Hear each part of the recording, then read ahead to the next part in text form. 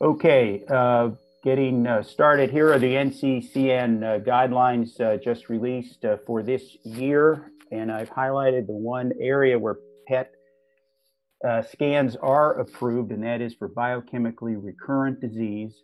And the two scans that are considered useful right now is the C11 choline and the F18 fluciclovine or FACBC scan, also known as Axumin, period. Uh, there are other uh, scans uh, out there, and NCCN uh, listed them uh, as a topic that's remaining under discussion. Under PSMA, most of the data that we have is for a gallium 68 PSMA scan. However, the audience, I'm sure, knows that there are three other PSMA scans that are in various stages of evaluation at the moment.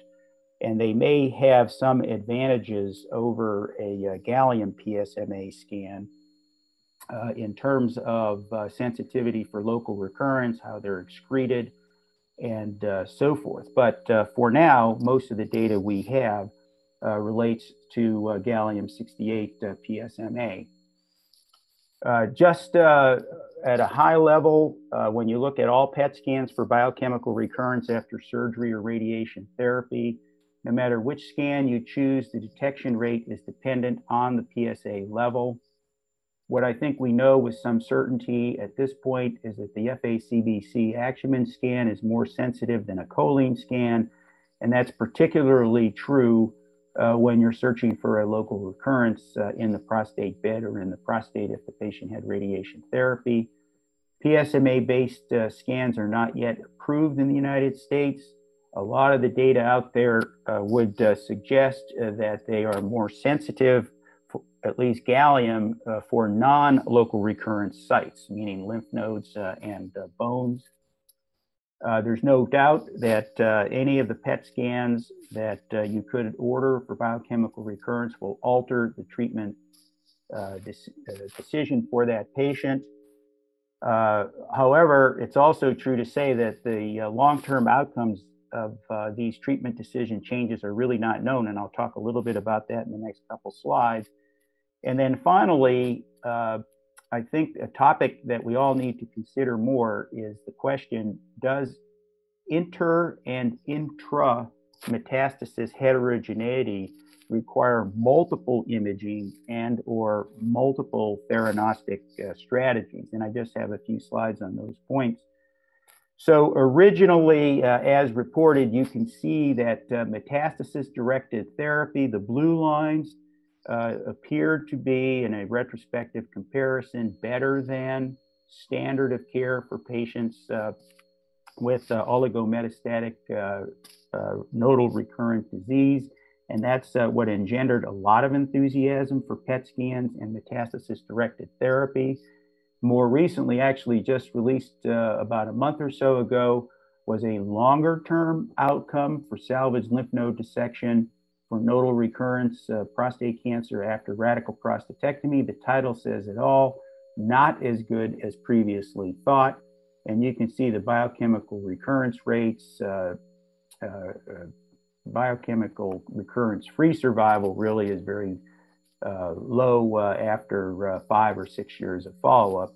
Notwithstanding that, it could delay the implementation of hormonal therapy, and that in itself uh, may be a beneficial uh, step for a patient. And the other uh, point that uh, I, I, think we need to uh, emphasize is that uh, just looking at PSMA alone, yes, it is upregulated in many, but not all prostate cancers. I think this was a, an important study showing that at least for some patients, it gets downregulated.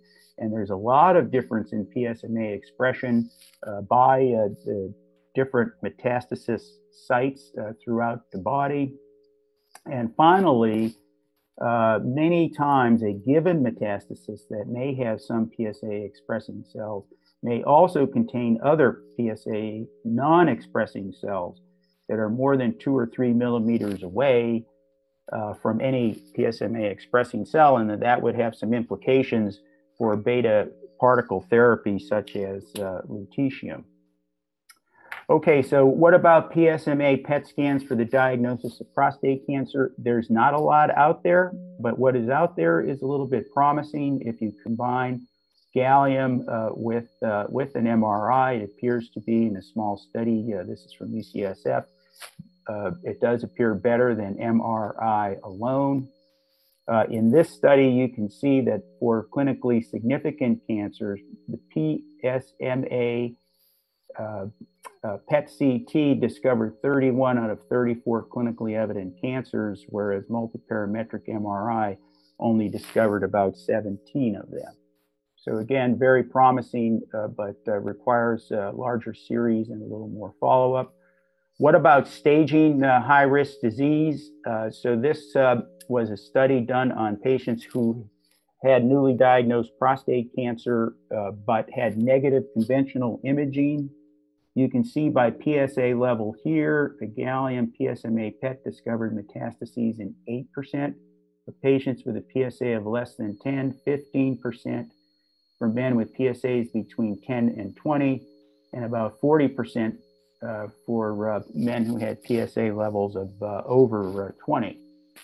But that's a little bit of an unfair comparison because by definition, uh, PSMA PET had to be better than conventional imaging just reported in Lancet was a randomized uh, trial of about uh, 300 uh, patients uh, who had uh, fairly high PSA levels at baseline.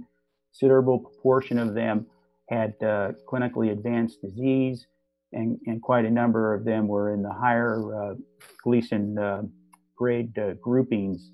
and what this shows is after randomization that the sensitivity of uh, uh PSMA PET, that's in the red, uh, was superior for any metastatic disease, pelvic nodal disease, distant metastases. And you can just look through the uh, columns yourself.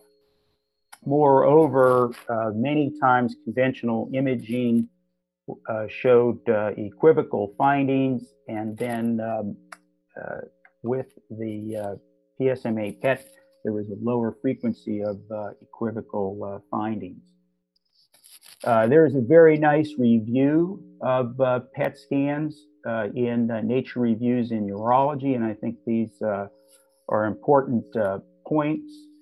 it may show some promise for staging prostate cancer. However, PSMA is not expressed ubiquitously in prostate cancer, but also importantly, it could be expressed in other solid organ malignancies.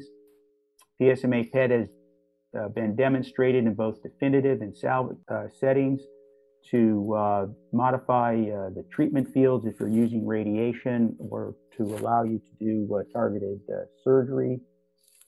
PSA, PSMA theranostics is under evaluation.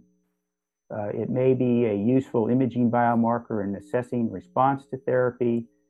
And PSMA PET may have a role in metastatic renal cell, uh, but does not appear to be useful in urothelial cancer.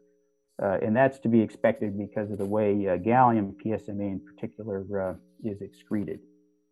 So those are my thoughts on PSMA PET scans, and we can certainly talk more about that in the discussion section.